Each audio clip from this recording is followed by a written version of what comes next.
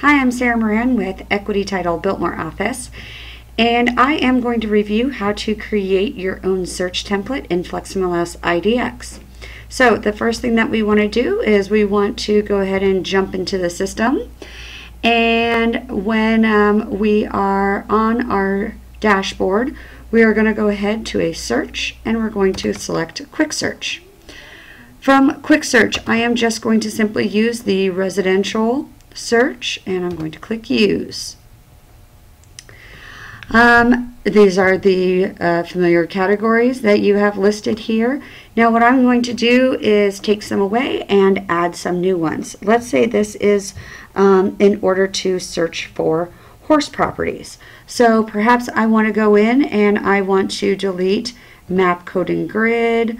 I'm going to take away number of interior levels, I'm going to remove off-market date, um, carport spaces, slab, parking features, um, and now I am going to actually go and I'm going to add horse properties. Now, I can click on the plus sign and all of the available search fields will come up. Or if I want to narrow the search, I can just start, um, put my cursor next to the plus sign and I'm going to type in horses.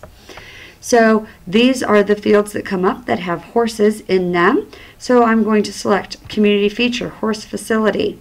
I'm going to type in horses again. I'm going to choose general property description, horses. And then finally, I'm going to type in horses one more time and select horse features. Now, at this point, um, what I need to do is I need to save this search. So I'm going to go up to my Save button and I am going to save as a quick search template. I am going to save it as a new template and I need to give it a name so I'm going to call it horse prop for horse properties and I'm going to save this. Now it tells me it's been successfully saved so now I can go into search, quick search and I can find horse prop and I'm going to use that search.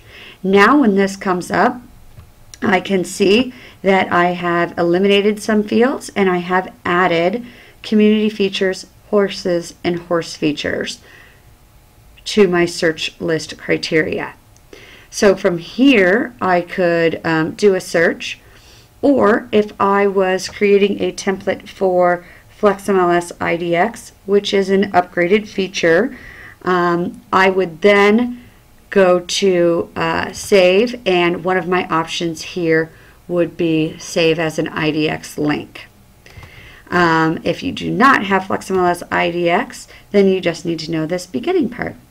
All right, if you have any questions about FlexMLS or FlexMLS IDX, I'd be happy to help you. I can also help you with several marketing materials, um, including buyer seller guides, uh, property profiles, contract books, foreign investor guides, and short sale guides. Um, we have wonderful customized materials that I can help you with. Um, I'd also, of course, love to help you with closing your escrows, and I have three excellent escrow officers who would also like to help you with that uh, Kathy Stewart, Don Robinson, and Stephanie Ritter. So I hope that I can work with you soon. Give me a call, 602 769 1438.